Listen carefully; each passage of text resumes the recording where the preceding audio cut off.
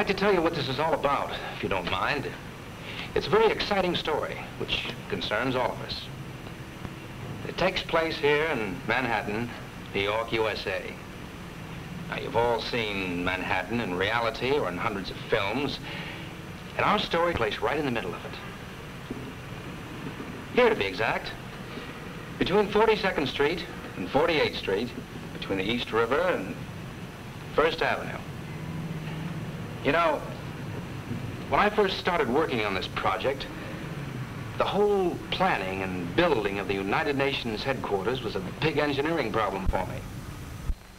Then I got to know this neighborhood a little better, these six blocks we had to clear, and I discovered they were full of life and quite different from the Manhattan we know from the movies.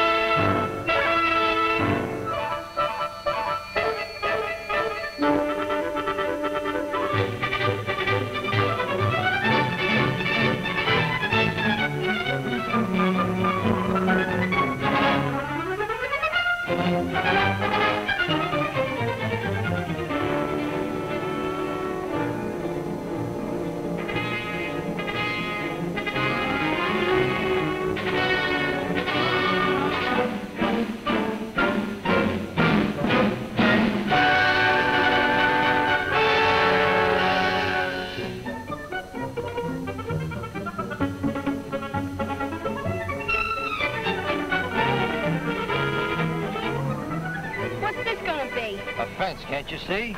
A fence? What for? To keep you fellas and girls out. To keep us out? We've been here for years. It's our playground. You hear that? He's going to take our playground I'm sorry, but in three weeks' time, this place is going to be as flat as a pancake. Let's go to 46. Yeah, let's go to 46.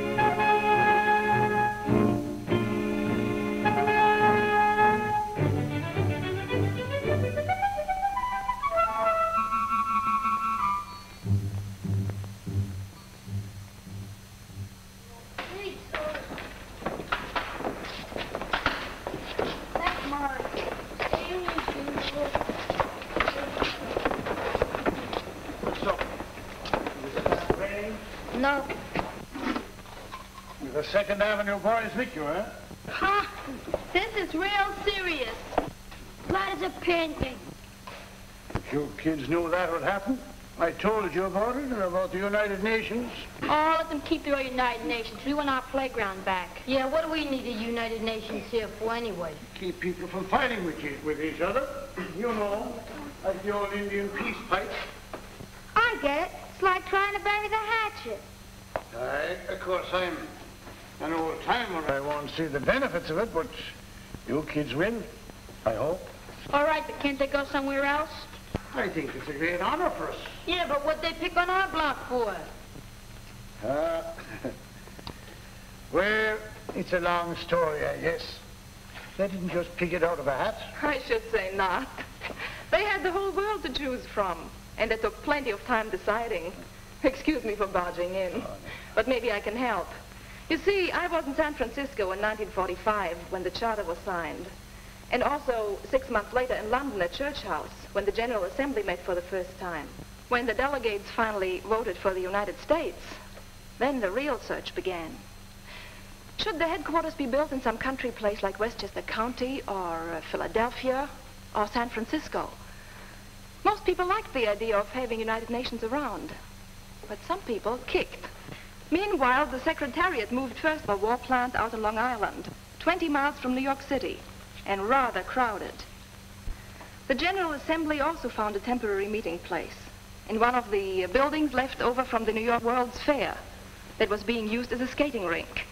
But why do they have to pick on us? Yes, why do they have to take our playground? Yeah, why have to pick on us? Well, in December 1946, when the delegates couldn't seem to agree on whether to go to Boston or Philadelphia or San Francisco, or to accept New York's permanent gift of Flushing Meadows, How do you know all this? because I'm a simultaneous interpreter with the United Nations. A what? A cemetery? Well, that explains everything. then Mr. Rockefeller helped out with these six blocks here where you had your playground. The deal was signed, and the six blocks were solemnly turned over to the United Nations.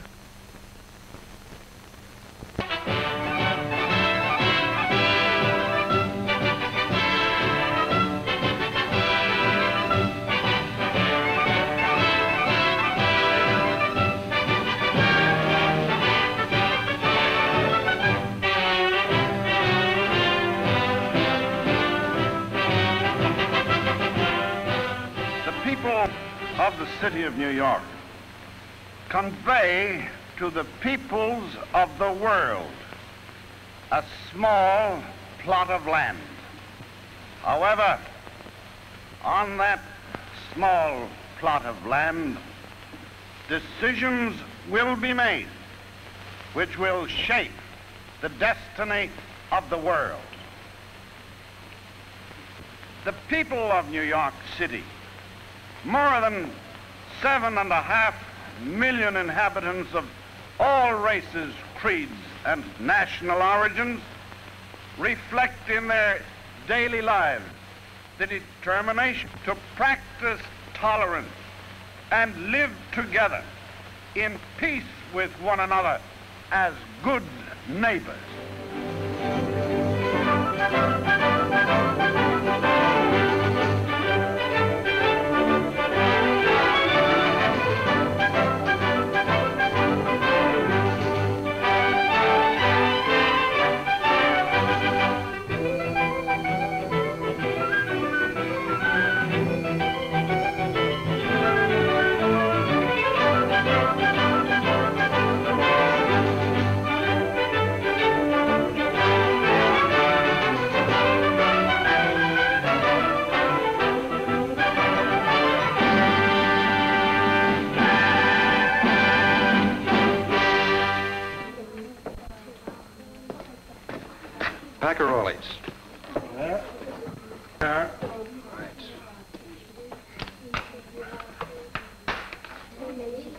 Any good eating places around here?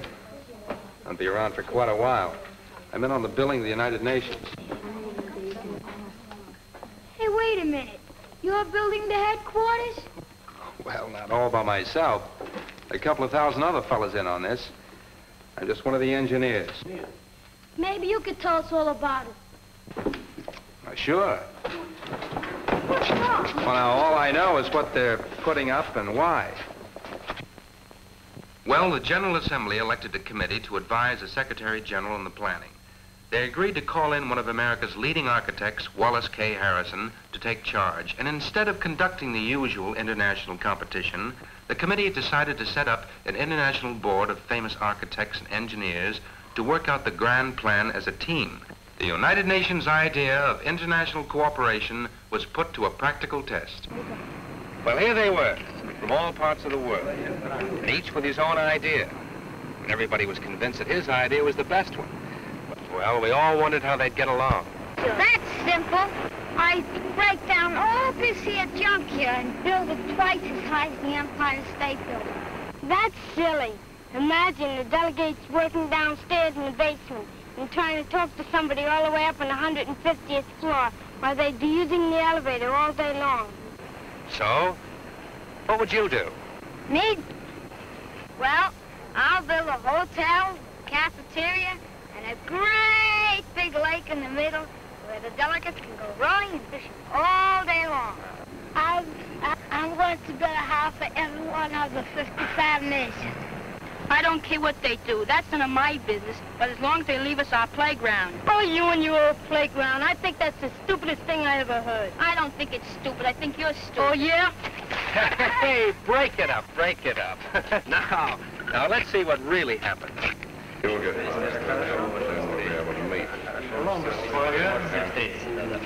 How are you? Nice to see you again, Mr. Bassett.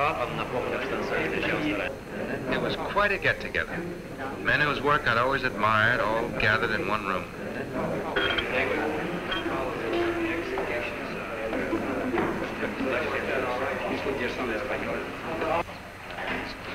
Well, it's a great honor to have you here with us uh, in New York. Most of uh, us here haven't had the experiences that you've had during the war. We hope that out of your trials and tribulations, you may be able to find a method to help us produce something that'll be a symbol for peace and security, and particularly of the United Nations in the future. I don't know anything else we ought to do. Let's go to work. So we went to work. But don't get the idea from what I told you yesterday that these famous architects sat right down and started dreaming up beautiful buildings. Why, before they could draw a line, they had to know what we call requirements. Uh, in other words, what sort of an organization were we building for? How big should headquarters be? What kind of buildings do they need? How many people would be working in them? And, what kind of work each person would be doing? That's what we call requirements. Now, look, I'll show you. Now, take this little office worker, for instance. He's an average size. Say he needs space for his desk. Space to move around in.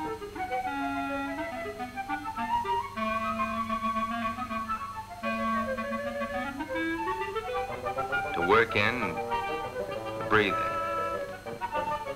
For all of this, he needs about 100 square feet. But there are going to be about 4,400 people in the staff of the Secretariat. That's 10 acres just for office space. It would cover four of the six blocks on the site. And what about corridors, washrooms, storerooms, dining rooms, heating, lighting, air conditioning, and office machinery? So the Secretariat just had to be stacked up in a high building, with maybe only a hundred persons on a floor. But that's only one part of the headquarters. We had to make room for the General Assembly. This meant providing space for a speaker and his audience. The speaker must be seen must be heard. So we had to plan for an auditorium, seating a thousand delegates and observers. a thousand public spectators, and hundreds of newspaper men. In addition, soundproof booths for interpreters, television, radio, and motion pictures. Booths with a clear view of speaker and audience. And this takes up actual ground space, for you can't stand an auditorium up on its end.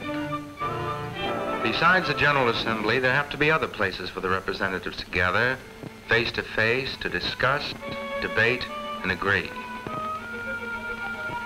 Three council chambers, four big conference rooms, and 18 other committee rooms for smaller committees.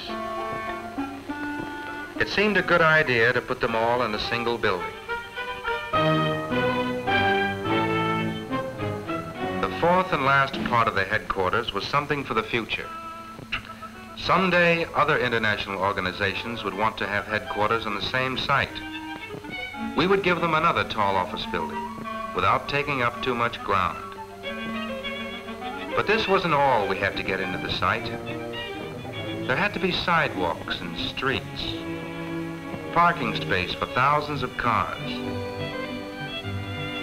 and just plain free space.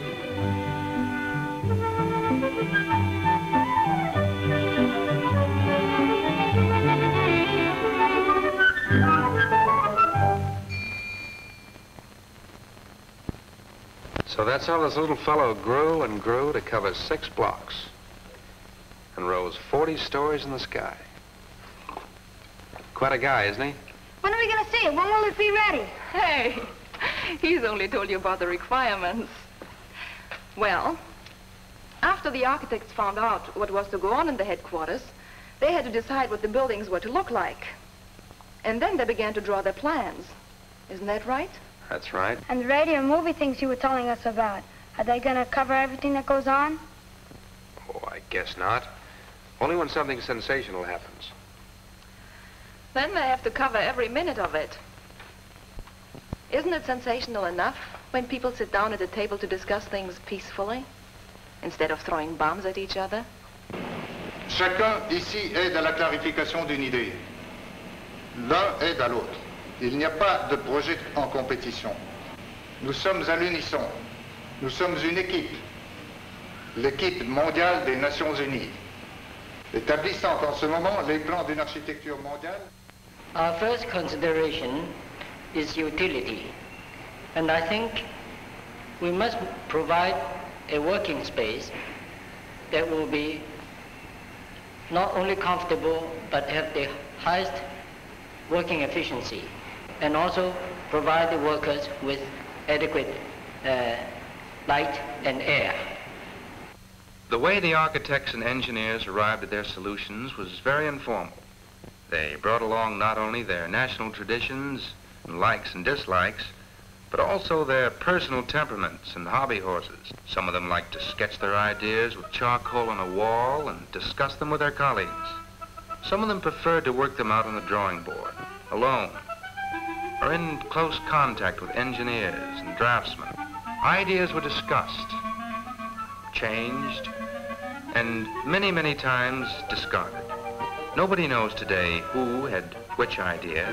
Sometimes somebody would do a sketch. Some others would discuss its possibilities. Other aspects of the idea would be developed, sketched, and discussed. The shape of the General Assembly Hall, for instance.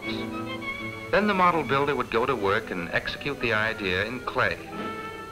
More detailed plans would follow, hotly discussed, until everybody agreed, for the moment, of course.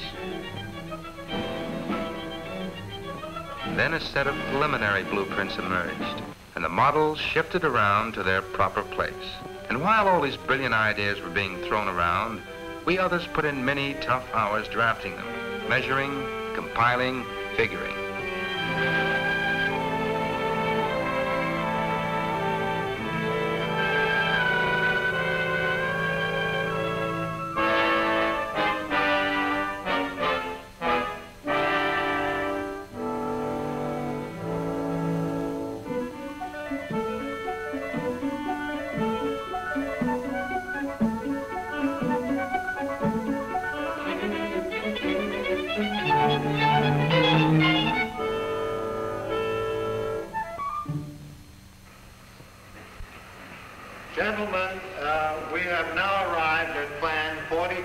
42G, with the Secretariat building to the south of the property, close to the access from 42nd and 43rd Streets, with the Secretariat Court here to the south, and with the General Assembly to the north. I will be with this plan all the way. There's no difference of opinion between us. There's only a difficulty of language. I can say for my part that the cooperation has been perfectly wonderful. We've all felt our great responsibility, and I think we've tried to build not a symbol of peace, but a workshop for peace.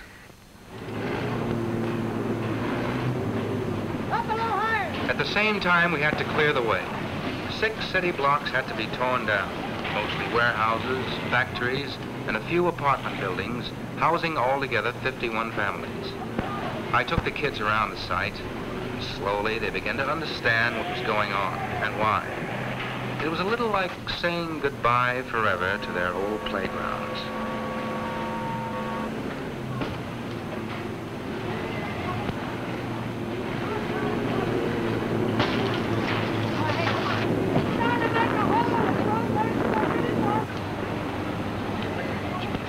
Hiya. Hi. How many buildings did you wreck today? Ah, just one big water tower. Should have seen the splash. You ain't seen nothing yet. Well, we pull a big one down. Hey, time to go to work. Get out there and cut it up.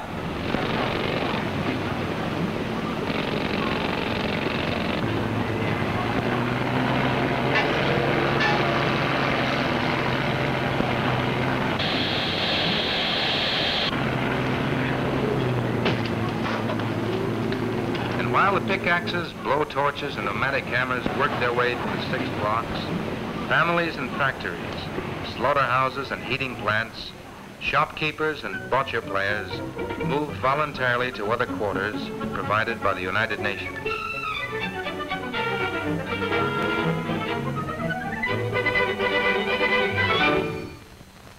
I can see why they have the United Nations, and I sure am proud they're having it here in New York. But why didn't they ask us first? We liked it here where we used to play. And if they asked us first and we said no, they should have went somewhere else. You know, George, if the United Nations would have acted like this when they were founded, the war wouldn't be over yet. Do you think they all agreed right in the beginning when uh, you Americans should start the invasion or the French their resistance or we Russians our big offensive? Sure, we all wanted to be asked first and make our own decisions. But then we did get together. And that's what the whole United Nations is about. To get together and talk things over. Why don't we go there ourselves and find out how to do it? Yeah, why don't we? I know. Let's go to Lake Success.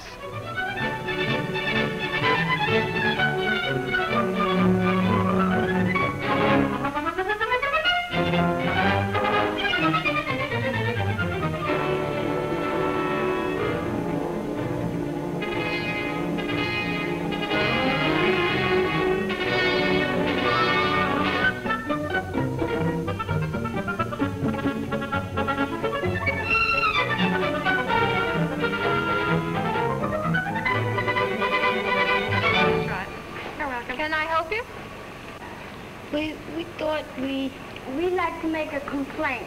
Complain? Complain about what? They took our playground away from us. That ain't fair. Playground? What playground? Tell me more. She don't know nothing but our playground. Look, lady, we're talking about the playground on 47th Street. We're playing there peacefully minding our own business, but along you came and drove us out. But we've been playing there before you were even born. Sure, you need the space, but couldn't you ask us? What kind of organization is this anyway? Come with me and I will show you. Will you come this way?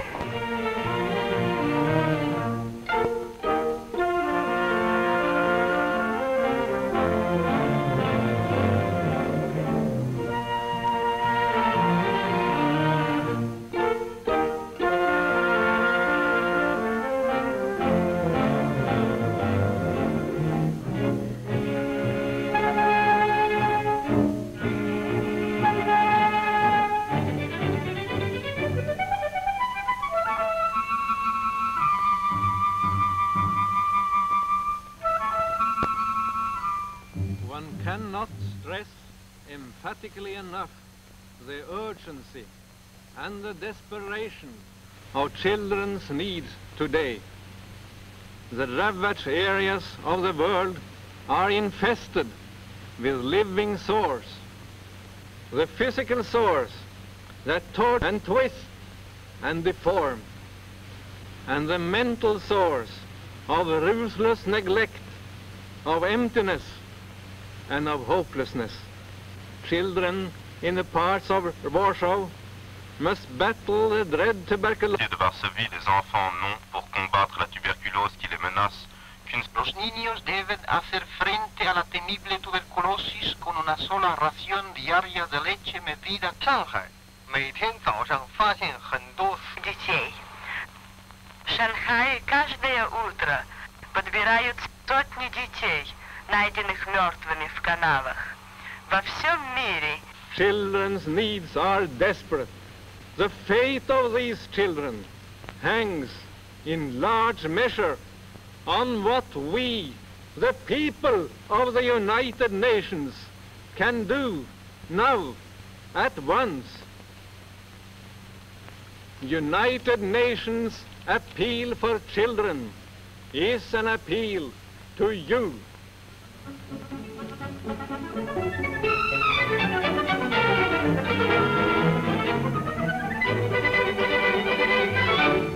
What is all this? Well, you see, I've made up my mind that I'm not too old after all, and maybe I'll live to see the United Nations work. And uh, I just wanted to do my part. With all this construction work going on and all the foreigners coming in and business picking up. You mean you actually speak Russian and French and all the other languages? Well, no, but they do, don't they? It's okay, we found out. We had a long talk with the boss out there. Oh, now what did you tell him? We told him that we finally decided to give up our playground after all. After all, we wouldn't want to hold up the works. The works? Yeah, the works.